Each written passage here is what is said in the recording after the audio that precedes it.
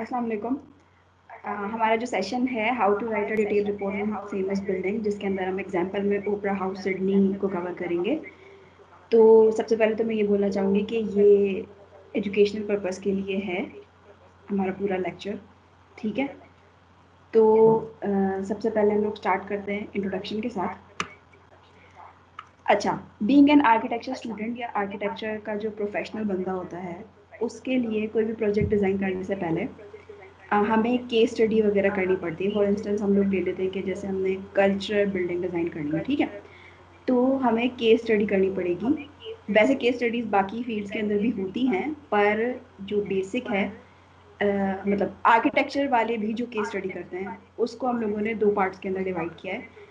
Number one होता है कि uh, कोई रिटर्न मटेरियल होता है जो जिसके अंदर हम लोग बेसिक स्टैंडर्ड स्टडी करते हैं टाइम सेवर हो गया, इसके अलावा कोई और आर्किटेक्चर बुक है जो हमें स्पेसिफिक बिल्डिंग का जो सब्जेक्ट है, उससे रिलेटेड इन्फॉर्मेशन दे डायमेंशन हो गई, कितना अपने पाथवेज देने हैं, क्या रूम्स के साइजेस होंगे एंड ऑल दैट ठीक है? अच्छा जो सेकंड होती है, वो होती है कि जब आप कोई एग्जिस्टिंग रिलेटेड बिल्डिंग सर्च करते हो, या कोई नेशनल या इंटरनेशनल प्रोजेक्ट होता है जो ऑनलाइन सर्च करते हो, और फिर उसके ऊपर अपने प्रोजेक्ट से रिलेटेड जो है डिटेल रिपोर्ट एक लिखते हो तो इस वक्त हम लोग जो है जिस चीज़ को स्टडी करने वाले हैं, वो है डिटेल रिपोर्ट जो कि हम एक फ़ेमस बिल्डिंग के ऊपर कैसे बनाएँगे, क्या चीज़ें हम लोगों ने देखनी है, कहाँ से सर्चिंग करनी है, वो सारा इन्फॉर्मेशन एंड देन फिर एग्जांपल डिस्कस करेंगे। तो what are you going to look for जो एक ओवरव्यू होगा किसी भी बिल्डिंग की सर्चिंग के लिए, भले वो बिल्डिंग आपके अपने कंट्री के अंदर हो या कंट्री से बाहर हो। लेकिन आपको जो बेसिक चीज़ें चाहिए एक अच्छी रिपोर्ट बनाने के लिए, वो मेंशन किया है। अच्छा इसके अंदर जो हाईलाइटेड एरियाज़ हैं, ये इंपॉर्टेंट है, ये लाजमी आपने अपनी रिपोर्ट के लिए ढूँढने और उनको ऐड करना है। बाकी जो सिंपल हैं, वो अगर मिस भी हो जाए तो कोई मसला नहीं। है ठीक है नंबर वन है बिल्डिंग का नाम देन कंट्री फिर उसका सिटी ठीक है, फिर लोकेशन इन द सिटी ठीक है। उसके बाद client of the project then owner of the project बाज़ दफ़ा ऐसा होता है कि जैसे गवर्नमेंट जो है, वो ऑनर होती है प्रोजेक्ट की, लेकिन जो क्लाइंट होता है, वो कोई मिनिस्टर होता है या कोई और बंदा होता है, ठीक है? लेकिन पेमेंट जो है, वो आपको चैनल करके देता है। तो एज अ क्लाइंट जो भी फेस कर रहा है बंदा आपको तो उसको हम क्लाइंट कंसिडर करेंगे और जो फंडिंग एजेंसी होगी, वो ओनर होगी उसकी। या कोई, बाज़ दफ़ा इस तरह भी होता है, खासतौर पर गवर्नमेंट लेवल के जो प्रोजेक्ट्स होते हैं, एक बंदा बनाता है और किसी को हैंड ओवर कर देता है और वो उसका ऑनर होता है। अच्छा फिर आर्किटेक्ट्स ऑफ़ द प्रोजेक्ट अगर एक है या एक से ज़्यादा हैं तो वो आपने डिस्कस करने सर्च करने ढूँढने। अच्छा स्ट्रक्चरल इंजीनियर क्योंकि ज़ाहिर सी बात है हमारा काम जो है वो स्ट्रक्चर इंजीनियर के बिना तो अधूरा होता है तो उनको सर्च करना है। अच्छा फिर कॉन्ट्रैक्टर्स भी जो फ़ेमस बिल्डिंग होती है उनके तो कॉन्ट्रैक्टर्स की डिटेल्स भी लिखी होती हैं। वो है फिर बिल्डिंग टाइप एंड उसका पर्पस अब हर बिल्डिंग जो है वो कल्चरल mm, नहीं होगी या शॉपिंग मॉल पब्लिक टाइप की बिल्डिंग नहीं होगी, ठीक है? तो उस बिल्डिंग का बेसिक पर्पस कि आप जो बिल्डिंग सर्च कर रहे हो, उससे रिलेटेड आपको क्या डेटा रिक्वायर्ड है? मतलब किस वे में आपने जाना है? कंस्ट्रक्शन स्टार्टेड एंड कंप्लीटेड कब स्टार्ट हुई है? कब ख़त्म हुई है? फिर बिल्डिंग की कॉस्ट जो total design to completion okay फिर आगे जाके आप आर्किटेक्चरल एस्पेक्ट्स के अंदर जो देखोगे बिल्डिंग बायोग्राफी के अंदर वो है आर्किटेक्चरल स्टाइल आ जाएगा बिल्डिंग का। बिल्डिंग का कॉन्सेप्ट आ जाएगा उसका फिर डिज़ाइन डिस्कस करोगे उसका एरिया डिस्कस करेंगे। सिटिंग कैपेसिटी अब सिटिंग uh, कैपेसिटी का मतलब ये है कि जैसे कोई स्टेडियम है या कोई कॉन्सर्ट हॉल है तो उसमें तो आप सिटिंग uh, कैपेसिटी देख सकते हो ठीक है? लेकिन अब कोई ऐसी जगह शॉपिंग मॉल है उसमें कितने बंदों को अकोमोडेट कर रहा है वो कितने बेनिफिशरीज हैं लाइक जो सेल्स पर्सन हैं, वो कितने हैं, जो कस्टमर्स हैं, वो कितने हैं, उनके नंबर आपको मालूम होने चाहिए कि ये बिल्डिंग कितने बंदों के लिए बनाई गई है। फिर बिल्डिंग का master plan master plan search करना काफ़ी आसान होता है बिल्डिंग्स का, खासतौर पे फ़ेमस बिल्डिंग्स का, क्योंकि आपको आजकल जो है वो उस पर भी मिल जाता है गूगल अर्थ के ऊपर भी। अच्छा अगर फ्लोर प्लान मिल जाए तो वो बहुत अच्छी बात होती है सेक्शंस मिल जाए तो वो और भी अच्छी बात है एलिवेशन तो आपको मिल जाते हैं गूगल सर्च के अंदर, या आप इंटरेस्ट से भी देख सकते हो आर्ट डेली है। वहाँ से भी आपको एलिवेशन तो मिले जाएँगे। ड्राइंग्स मिल जाए तो वो ज़्यादा बेटर होता है, क्योंकि आपको पता होता है कि मतलब हाइट्स किस हिसाब से रखी हुई है, कैसे कैसे डिस्कस किया हुआ है। अच्छा हाइट्स अगर मिल जाए बिल्डिंग्स की दैट्स गुड इंटीरियर हो जाए एक्सटीरियर हो जाए मटेरियल हो जाए डिटेल्स व्यूज़ हैं एंड फोटोग्राफ्स हैं अच्छा अब आप कहाँ से सर्च करोगे ये डेटा ठीक है? नंबर वन ऑप्शन होता है लाइब्रेरी अगर आप आर्किटेक्चर डिपार्टमेंट के अंदर स्टूडेंट हो इवन आप प्रोफेशनल आर्किटेक्ट भी हो, तब भी अगर आपके सिटी के अंदर आर्किटेक्चर लाइब्रेरी अवेलेबल है तो ये तो बहुत अच्छी अपॉर्चुनिटी होती है कि आप जाओ वहाँ से जाके कोई बुक सर्च कर लो, ठीक है? तो रिलेटेड बुक्स होनी चाहिए स्पेसिफिक बिल्डिंग जहाँ पर डिस्कस हुई भी हो, ठीक है? ताकि आपको जो टेक्स्ट राइट करना है, उसके लिए इंफॉर्मेशन मिल सके। उसी बुक से फ़ोटोग्राफ्स आपने निकालनी है। अच्छा अगर आपके कंट्री के अंदर ही है या लकीली जिस शहर में आप रहते हो, उसी शहर के अंदर वो बिल्डिंग प्रेजेंट है तो आप पर्सनल विज़िट भी कर सकते हो क्योंकि an experience is better than anything ठीक है? और सेल्फ टेकन फोटोग्राफ्स तो सब में ज़्यादा इंपॉर्टेंट होती है फॉर केस स्टडी अच्छा फॉर इंटरनेट अब इंटरनेट से आप कैसे डेटा निकालोगे? तो वो बहुत वाइड एक जगह है जहाँ से आप डेटा निकाल सकते हो, ठीक है? पहले हो गई वही रिलेटेड बुक्स आपको मिल जाएँगी इंटरनेट से। अच्छा आर्किटेक्चरल मैगजीन्स जो हैं, उसमें भी अलग सेक्शंस होते हैं, वो डिस्कस करते हैं। डिफरेंट किस्म के जो है मतलब बिल्डिंग्स को डिस्कस करते हैं या आर्किटेक्ट्स का काम डिस्कस करते हैं। तो फ़ेमस हैं तो बहुत सारे, कोई अराउंड थर्टी से भी अबव हैं आर्किटेक्चर मैगजीन्स तो उनमें से मैंने कुछ के नाम लिखे हैं आर्किटेक्चर डाइजेस्ट है आइकॉन है मेट्रोपोलिस है। अच्छा एक आर्की टाइम्स है, ये पाकिस्तान का अपना है डोमस है एक्स ई डी सी बहुत ज़्यादा है उसके अलावा। अच्छा कुछ आर्किटेक्ट्स ऐसे हैं जो अपनी बिल्डिंग की वजह से मशहूर है, ठीक है? जैसे फ्रैंक लॉयड राइट जो हैं, वो फॉलिंग वाटर जो उसका सबसे बेहतरीन काम था, उसकी वजह से वो मशहूर है, ठीक है? तो जब वो आर्किटेक्ट की बायोग्राफी लिखी जाती है तो उसमें उनका फ़ेमस काम एक्सटेंसिवली डिस्कस होता है, ठीक है? अब ओपरा हाउस की एग्जांपल है तो जॉन अडजन जो उसके आर्किटेक्ट थे तो उनकी ज़िंदगी का, वैसे तो उन्होंने काफ़ी डिज़ाइन कॉम्पिटिशन में पार्ट लिया था, लेकिन ये एक ही मेगा प्रोजेक्ट था, ठीक है? तो उनकी जो अपनी बायोग्राफी है, उसके अंदर डिस्कशन ही ओपरा हाउस के ऊपर है। ठीक है? अच्छा फिर आर्किटेक्ट्स ने खुद अपनी बुक्स लिखी हुई होती हैं, जिसमें वो अपना काम डिस्कस करते हैं। वहाँ से भी आपको डेटा मिल सकता है, जो आप बिल्डिंग सर्च कर रहे हो उससे रिलेटेड अच्छा फिर जो रिपोर्ट्स हैं, वो कुछ चैनल्स हैं या विकीपीडिया प्रिपेयर करता है, जैसे नेशनल जोग्राफिक है या विकीपीडिया है तो वहाँ से भी मतलब आप रिपोर्ट एक्सट्रैक्ट कर सकते हो। अच्छा फ़ेमस जो बिल्डिंग्स होती हैं उनकी अपनी वेबसाइट्स होती हैं आजकल। ठीक है जैसे ओपरा हाउस की अपनी है हाया सोफिया की है अपनी बुर्ज खलीफा बुर्ज दुबई मतलब इस तरह से उनकी अपनी वेबसाइट्स हैं जिनके अंदर उन्होंने उनका डिज़ाइन उनकी जो भी फैसिलिटीज़ अवेलेबल हैं उस बिल्डिंग के अंदर आ, मतलब स्टार्ट से लेकर एंड तक उन्होंने उसको पूरा डिस्क्राइब किया हुआ तो अब हम एक एग्ज़ाम्पल को देखते हैं।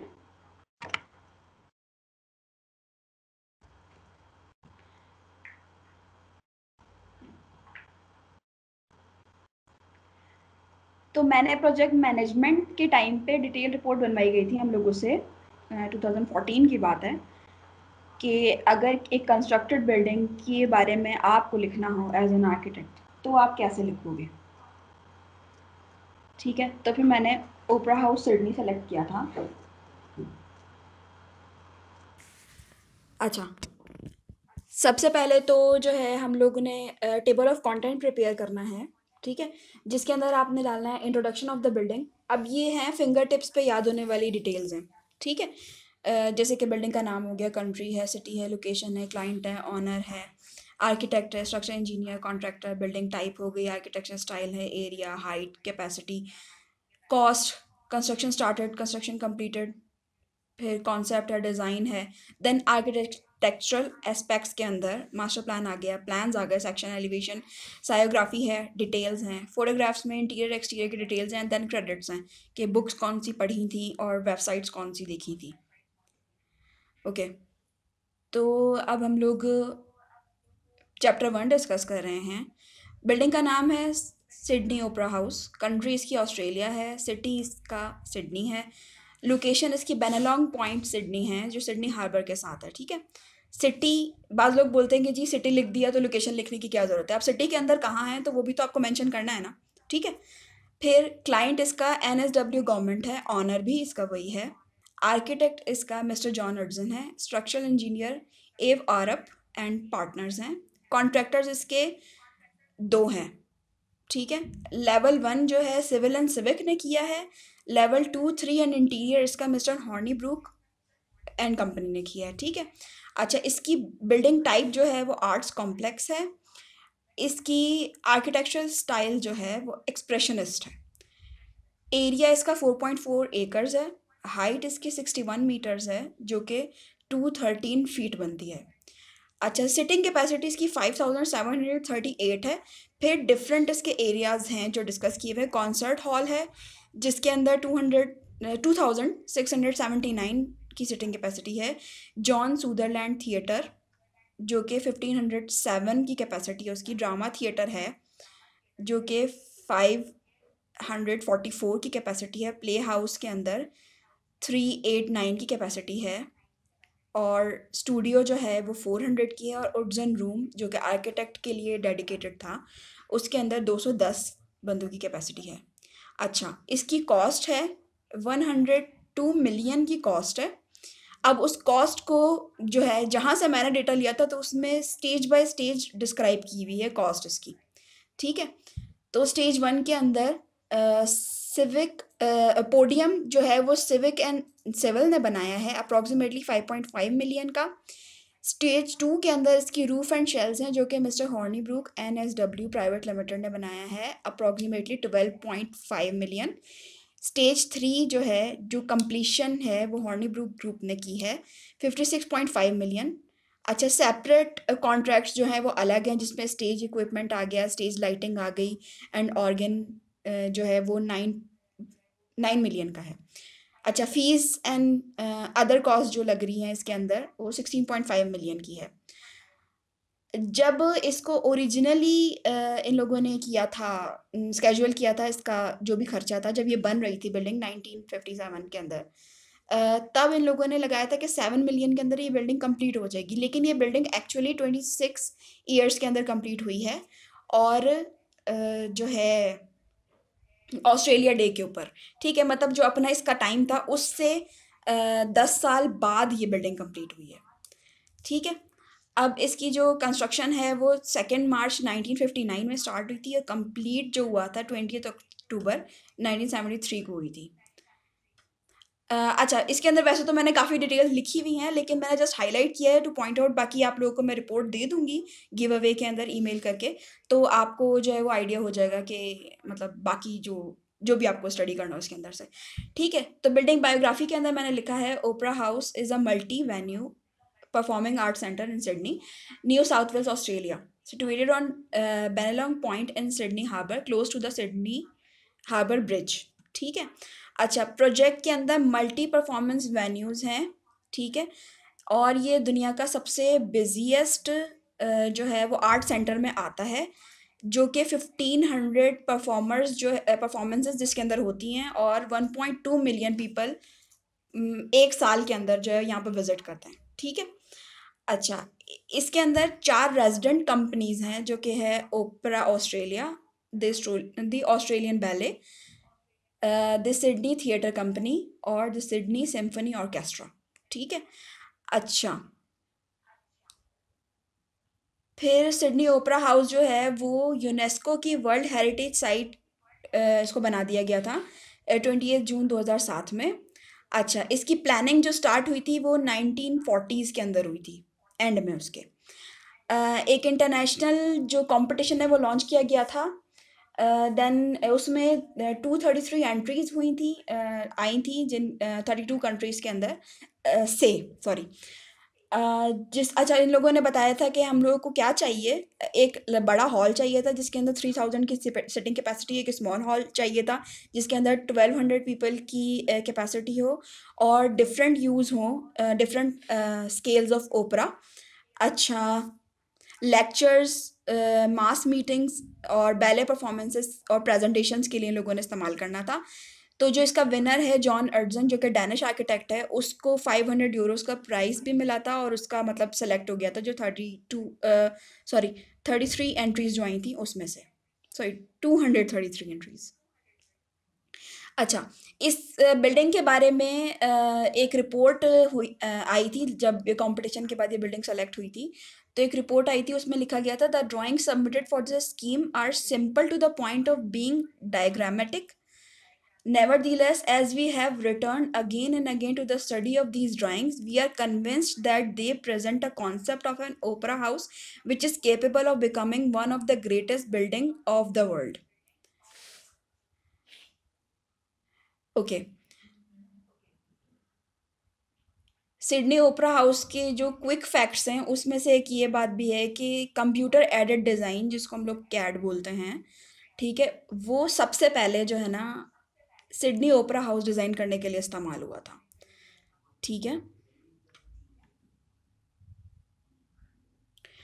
और एक और डैनिश फॉर्म थी जिन्होंने सबसे बड़ा एयर कंडीशनिंग प्लांट जो है ना, ठीक है, ऑस्ट्रेलिया का, उस वक्त का जो सबसे बड़ा एयर कंडीशनिंग प्लांट था, वो इन लोगों ने यहाँ पे प्लेस किया था, जो कि सेवनटीन थाउज़ेंड मीटर स्क्वेयर जो है सॉरी मीटर क्यूब जो हवा थी वो फेंकता था पर मिनट जो है मतलब हवा समंदर से जो जो पानी है, उसको लेके ठंडा करता था एंड देन वो पूरे ओपरा हाउस को सर्कुलेट करता था उसके अंदर हवा। अच्छा अब आर्किटेक्ट ने जो है वो इसका डिज़ाइन कॉन्सेप्ट डिस्कस किया हुआ है जो कि है the inspiration I got from seeing the naval charts over Sydney on which were shown the sandstone heads at the entrance of Sydney Harbour. These he- uh, heads slope upward to the gap where they drop abruptly to the sea. The same feature is often seen in Denmark on a small scale, where you walk uphill as you approach the sea to the edge of an escarpment falling away to the beach and sea below. As you approach the edge, look up into the end empty sky and only at the very last moment you are able to get a magnificent view of the sea. Okay okay, तो इसका architect ये कह रहा है कि जब हम एक ऊँची चढ़ाई के ऊपर चढ़ते हैं समंदर की लहरों को देखने के लिए तो जब वो ऊपर जाती हैं तो आप जब ऊंचाई के ऊपर खड़े होते हो तभी आपको वो जो है उसकी जो लेयर है आप उसको एक्सपीरियंस कर सकते हो जो एक वेव होती है ठीक है? तो ये बंदा जो है इस कॉन्सेप्ट को इस तरह से डिफाइन करना चाह रहा है कि जब हम ओपरा हाउस को उसने इस तरह से डिज़ाइन किया स्टेप्स के साथ आप ऊपर जाते हो एंड देन जो वेव एक बनाती है तो वो चीज़ इसको बहुत इंस्पायर किया था एंड सेकेंड चीज़ इसने जो कि इसने इधर डिस्कस भी किया हुआ है, किस तरह से वेव्स का कॉन्सेप्ट है, वो आप ऊपर जाके जब क्लिफ के ऊपर आप देखते हो तो वेव्स जब मुड़ती हैं एंड देन जो उससे स्टाइल बनता है, वो स्टाइल इसने डिस्कस किया है अपने इसके। सेकेंड इसने यही कॉन्सेप्ट एक मायान टेंपल है मैक्सिको के अंदर। वहाँ पे भी उन लोगों ने एट मीटर की हाइट के ऊपर ये चीज़ बना रखी है और यही इस तरह से स्टेप चढ़ते हैं और ऊपर जाके इन चीज़ को एक्सपीरियंस करते हैं। जैसे कि आप देख रहे हो गए स्टेप्स के ऊपर लोग बैठे हुए हैं। देन ये इसका कॉन्सेप्चुअल मॉडल है ओपरा हाउस का। अच्छा फिर डिज़ाइन फैसिलिटी डिज़ाइन को डिस्कस कर रहे हैं तो फिर मैं उसको रीड ही कर देती हूँ। The facility features a modern expression is design a distinctive roof comprise set of interlocking vaulted shells each compose of section of a sphere of seventy five point two metres जो कि two forty six feet height बनती है। Radius such as a vast terrace platform forming the roof of the structure and surrounded by the terrace areas that function as uh, pedestrian concourses.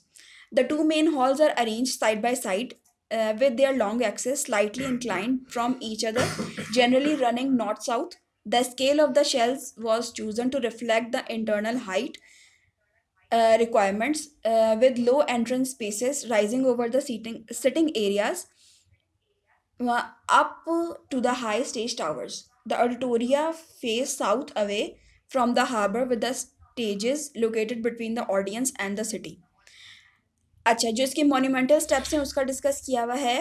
The monumental steps which lead up to the forecourt to the two main performance venues are great ceremonial stairways nearly hundred metre wide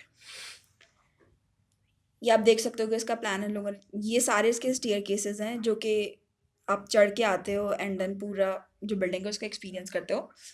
The roof was designed to distribute wind pressure around the roof shape because of very high winds, which helped in the design of the roof tiles and their fixtures. The building covers 1.8 hectares, 4.4 acres of land, and is 183 meter long and 120 meter wide at its widest point. It is supposed on uh, supported on 588 concrete piers sunk as much as 25 meters below sea level. Okay okay, अब इसका material है। I think जब plan आ गए तो मैं पहले plans दिखा देती हूँ इसके।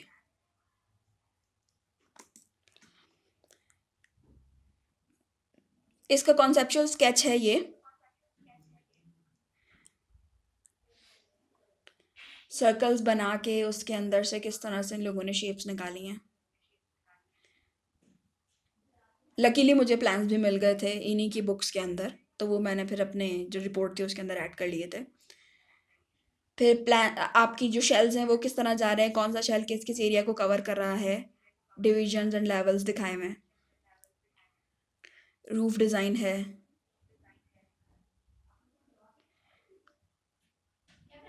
एलिवेशंस हैं सेक्शंस हैं। Sciography shell designs. Detailed drawings of shells and their geometry.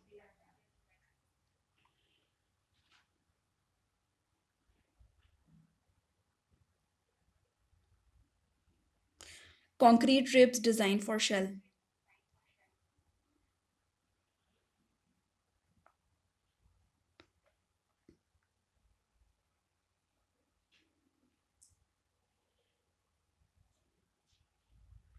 inner space of shell with glass panels.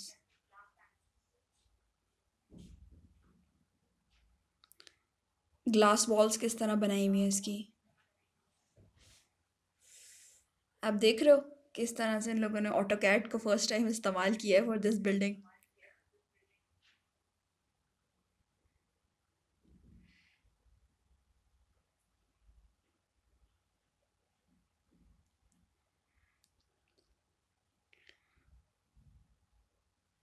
Okay, इसके फ्लोर प्लान्स हैं।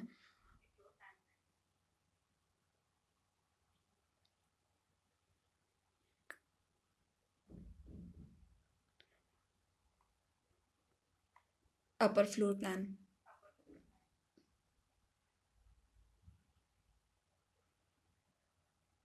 ten sections हैं। Concert halls axial section opera theatre axial section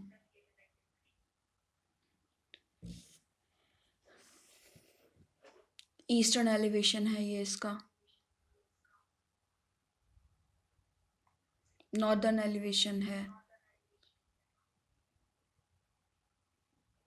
Southern elevation. Western elevation.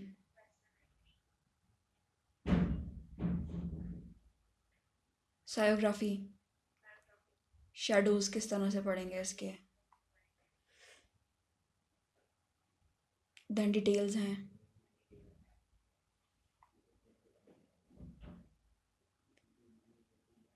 Geometrical construction of shell number three major hall one by thirty two के scale के ऊपर है।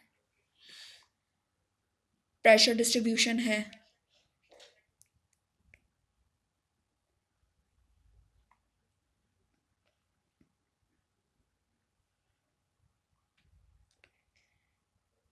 अच्छा ओपरा house के लिए जो है, इन लोगों ने अलग किस्म के सर्कल्स ड्रॉ किए थे, तभी इन लोगों को ऑटो कैड का इस्तेमाल करना पड़ा था।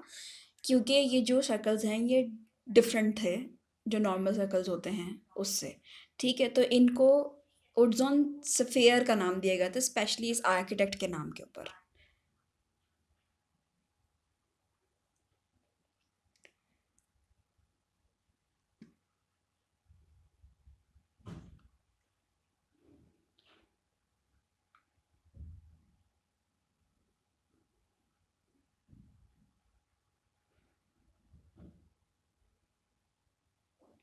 इसका ऑर्केस्ट्रा है और उसकी sitting arrangement platform and all that okay अब हम मटेरियल डिस्कस करते हैं. मटेरियल इसका मैट एंड ग्लॉस इस्तेमाल किया हुआ है. The precast granite element are needle hammered to give a slightly matte surface in contrast with the shiny roof tiles, which gives the effect of brightness. ठीक है? Outer surface के ऊपर। अब inner surface कैसे बने concrete and ply the walls will show the concrete as it was constructed contrasting with the mould moulded plywood panel which form the component of the furniture and fixing fixings ठीक है? अच्छा tiles and the raw tile is painted with the sauce or slick of the same material is fired and overlaid with a glossy, transparent glaze before it is fired the final time मतलब इसकी जो tiles थी, वो भी अलग तरीके से craft की गई थी। Then convex slices of plywood अब इसका एक की मॉडल है अकॉस्टिक्स का कि वो किस तरह से इन लोगों ने मैनेज किया है जैसे आप ये देख रहे हो ये प्याज काट के इन लोगों ने रखी है और उसको कैसे इन लोगों ने स्लाइस लगाए हुए हैं। तो वही वाली अरेंजमेंट इधर से है ताकि अंदर ये अकॉस्टिक्स भी मैनेज करे और देखने में भी बुरा ना लगे। The acoustical shell were free of the covering roof मतलब जो ऊपर की जो कवरिंग रूफ है, उससे वो फ्री है, वो अंदर की तरफ़ ही कुछ बनाया है इन्होंने। The shells and the hall acoustically had a shape that was oriented towards the stage it was a large plywood construction the solution was to rest all these convex slices on the underside of the acoustical shell ठीक है ऊपर covering का shell अलग है अंदर वाले shell को इन्होंने अकॉस्टिकल शेल का नाम दिया है The acoustical shape was absolutely clear both in sound and in a way that you would observe it as an audience. Then glass wall hai. The glass wall which has been built in is in family with the glass wall arrived at with its feeling of its hanging from the shell. मतलब ये जो glass wall है वो ऐसे लगेगी जैसे वो shell से अंदर की तरफ़ लटकी हुई है ठीक है Uh, panel were to be of equal size, facilitating production, etc. In both versions, you have, as you walk around the foyer, uh, the full unimpeded view of the Sydney Harbour. Uh, you get a fantastic feeling of openness of space after being inside the auditorium. Then इसका master plan है जो कि मैं कह रही थी कि वो मिल जाता है इजीली ठीक है? अच्छा इसकी मास्टर प्लानिंग किस तरह से हुई? हुई है व्हीकल इधर से एंटर होती है देन पार्किंग के अंदर पार्क होती है फिर आप अंदर की तरफ़ जाते हो ट्रैवल करते हो और बाकी जब आपको बाहर जाना है तो आप इस तरफ़ से वापस निकल जाते हो। ओके okay, प्लान्स हमने डिस्कस कर लिए हैं। ठीक है? देन अब आ जाते हैं हमारे जो बुक्स के क्रेडिट्स हैं उनके ऊपर। तो हमने बुक्स जो पढ़ी थी वो थी Sydney opera house urban design principle जो कि इसके आर्किटेक्ट ने खुद लिखी थी 2002 में। Sydney opera house nomination by the government of Australia for inscription of the world heritage list जो कि 2006 की बुक है। अच्छा इसकी वेबसाइट्स थी विकीपीडिया से पढ़ा था और सिडनी ओपरा हाउस की अपनी वेबसाइट थी, जिससे मैंने इसका डेटा निकाला था। तो अभी हम लोग करते हैं, अपना सेशन ख़त्म। अब किसी को कोई क्वेश्चन पूछना है तो वो पूछ सकता है।